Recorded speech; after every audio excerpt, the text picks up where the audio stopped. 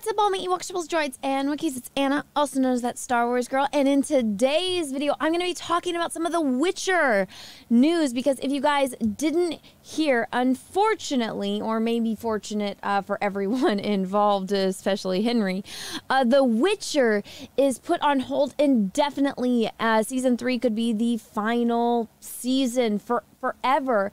For those that don't know, Henry finally had enough. He's like, I, I can't take this anymore. You guys are disrespecting me. You guys are disrespecting the source material. More importantly, like Henry will go through hell and back for these characters because he's an actual fan and he subjected him himself to hell uh, to be in the show to play Geralt. He took a huge pay cut to play Geralt, all because he loved this character and he loves the universe so much. They treated him like absolute dog poo, and after three seasons, he finally said, "I've had enough," and they announced that they were going to replace him with Liam Hemsworth. But guys, get this: one of the writers slash producers for the show is class clapping back at people on Twitter, and we are going to be taking a look at that in today's video. But guys, before I get into that, please, if you guys haven't already, smash the subscribe button, ring the bell for notifications. Make sure that that bell is set to all that we actually get notifications when I post videos and when I do live streams.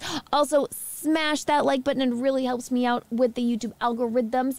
And without further ado, let's get on to the topic. All right, everyone. So I have Javier's Twitter pulled up with the tweets in question. So let's take a look.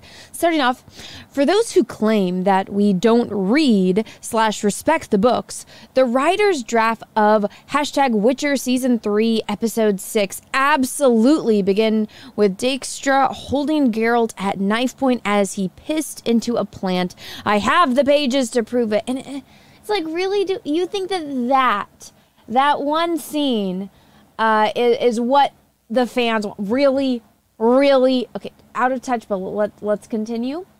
Uh, then this person who you guys can see over here, it says that they're like a voice actor, writer, producer. He, he's kind of kissing ass because I think he wants a job, but he responds with, this all comes from rumors and flat out lies from casting changes of Geralt. The folks whining probably haven't read the novels but jump on bandwagons. These are the same folks griping about the ethnicity of casting. I don't care. Tell your stories the best you can. I'll watch. Now, just just to poke a hole in this gentleman's argument, when people went and watched Star Wars, they they didn't know anything about it, right? There were comic books that came out before Star Wars, but uh people watched it and could enjoy it, uh, not knowing anything about it. So the argument that, like, oh, people, you know, weren't fans of the source material, that's not the point. You want people, you want new people to get into these things without knowing anything about it. That's a token of a good writer, of a good story, of a good production overall.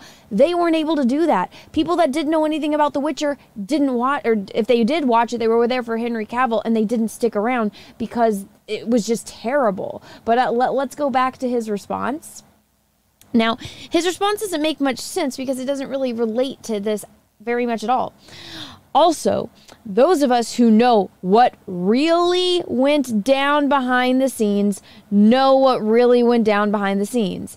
I stand behind the work and my boss 100%. Now, I just I don't know why this is the heel that you you want to die on. It's like what really went down behind the scenes is like implying that something else happened that excuses all, all of their behavior, that excuses what we got as a show. And I said that in my tweet. So I, I responded to him and I said, hey, funny how, you know, the video game company that made the video game, they had no problem adapting the books. They had, and they don't even follow the books. I think it like takes place a little bit after and there's like some things that aren't exactly what happened and they made some changes. So obviously it's not a straight from the books adaptation into a video game. They, you know, got the rights to it. They used the characters and the universe. They expanded upon it and made it one of the most top selling video games ever made. People love The Witcher 3.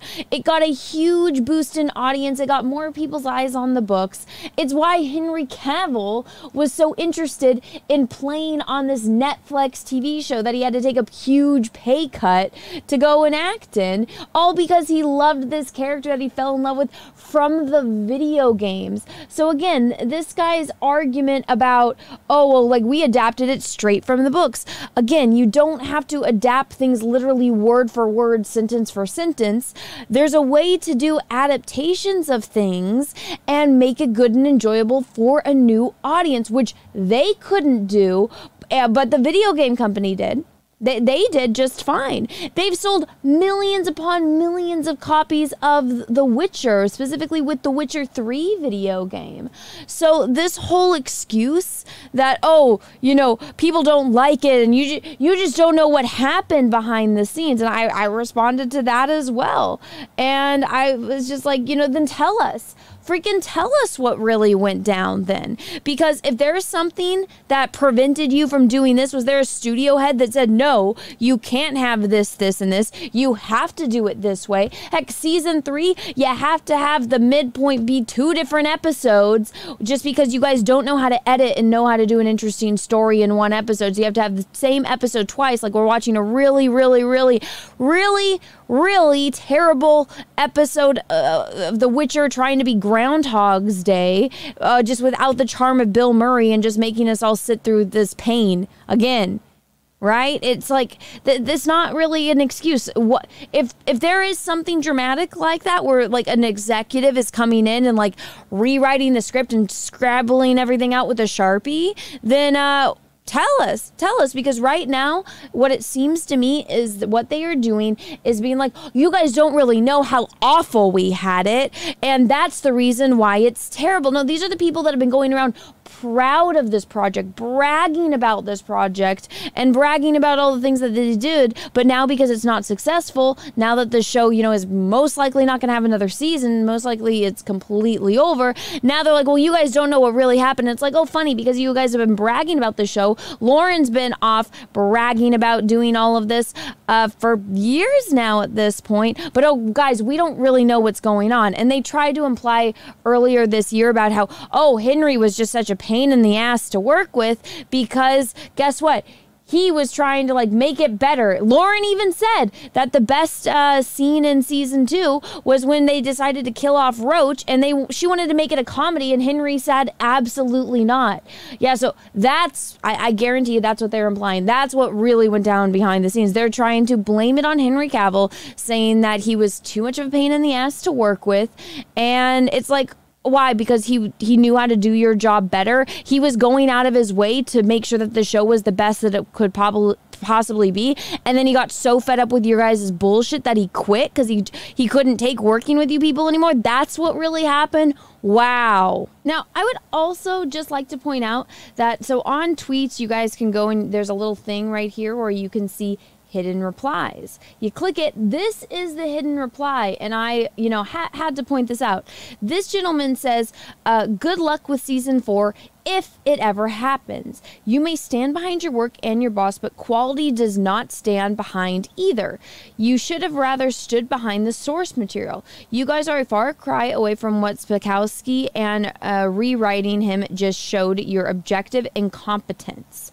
So that is the one single reply as of right now, as of that I'm filming, that's hidden on this tweet. I think that speaks volumes for the type of insecurity that these people have because everything that guy said was right and he was respectful. There's no reason that tweet should be should have been hidden unless they were embarrassed by it. Now that's pretty much all that's happened so far. I'm going to be interested to see if he actually responds to me or anyone else for that matter on that thread. That is a more of a fresh thread. I was able to see it from a Collider interview that where they were talking uh, about the director especially with the announcement of season four being on indefinite hold. So, most, I, I have a feeling I'm probably going to be blocked uh, if he wakes up and sees my responses because that's what these people do. But I'm interested to see if he will respond to anyone else and we can get more to the story. I would really want to know what uh, what really happened behind the scenes because as of right now, it just seems to me like they're using that as an excuse to hide behind. Because if there was something that really happened where they were forced to make this catastrophe that they did, uh, that that would I think would be information that would be brought to the forefront immediately. Uh, but it's not. It, they're just gonna hide behind that. In my opinion, that that's what it seems, but I don't know. We will see. But guys, let me know what you think about all of this down below in the comment section. If you guys watched uh, any of the shows, if you guys watched season three, uh, I did, and it was horrendous. Uh, when Henry walks off into the, the, the forest, I'm like, go run, Henry, run. Like I love seeing Henry Cavill as The Witcher, but I'm like, run, escape, be free, Henry, get away from this, because oh my god, uh, it's one of those situations where the work really speaks for itself, and the fans have spoken. It's terrible. I have not seen anyone upset that it's on indefinite hold. I've all I've seen is people celebrate. But if you guys felt differently, let me know in the comments below. If you guys liked this video, once again, please smash the like button. If you didn't, that's okay too. Thank you so much for watching this far through. And if you guys haven't yet, please smash the subscribe button ring that bell for notifications. Make sure that it's set to all that way you guys actually get notifications. And until next time, I hope you guys all have a great rest of your day, morning, evening, afternoon, wherever you are in the world. And may the force be with you because we are really, really, really going to need it. Bye, everyone. Guys, once again, thank you so much for supporting my channel and watching my content. If you guys would like to support me further, go and check out my latest cosplay calendar that's live now on Indiegogo. It's only live for three more days, so go get it while you can. This is uh, that Star Wars Girl cosplay calendar bikini edition. Now, I have dropped some more cosplays recently, like my Vampirella cosplay. Of course, we got classic Barbie, not Margot Robbie's Barbie. Got Sailor Mercury, that's my girl, Leeloo from Fifth Element, and then, of course, a classic Marilyn Monroe, and more cosplays are getting posted every week. So, guys, go and check it out. The link is down below in the description. There's a lot of cool stuff on here that I can't, uh, don't have time to talk about right here in this little end of video ad, but go and check it out. The link is in the description. I would sincerely appreciate it from the bottom of my heart. And, guys, thank you. Once again, everyone, thank you so much for supporting the channel. And if you guys would like to support me further, I actually have this link tree here that has links with every way that you can possibly do that. So I have the support the show, which is a direct link to my PayPal. This is my Twitter, Instagram, Twitch, YouTube, Rumble, Odysee, my live channel where I back up all of my live streams. So if you ever miss a live stream either here on YouTube or on Twitch, you can catch it there on my live channel. I also have an art channel where I do painting stuff. I have a locals, I have an Etsy Etsy, I have a Facebook, I have an art Instagram, and I have a merch page. All of this can be found at my link tree. All the ways to support me, my channel, and my content is all in this link tree. Thank you so much, guys, and have a great rest of your day.